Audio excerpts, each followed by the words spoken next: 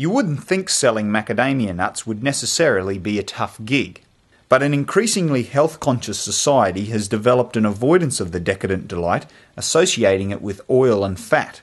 It was a concern addressed by several speakers at the International Macadamia Symposium in Brisbane recently. Several presenters called for a macadamia image adjustment that emphasised the health benefits to consumers, not just its desirable taste. One of those presenters, chairman of Nuts for Life, Chris Joyce, said it was critical to have a health message based on documented science, not flimsy claims. We don't need mythological stuff.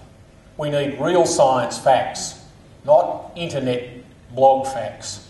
They're different. Internet blog, fact, blog facts are fine because you can say anything you like.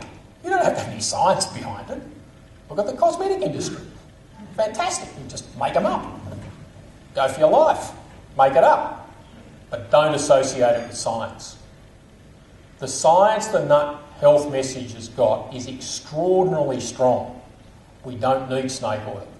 Reducing the risk of heart disease by 50%, is a pretty impressive number.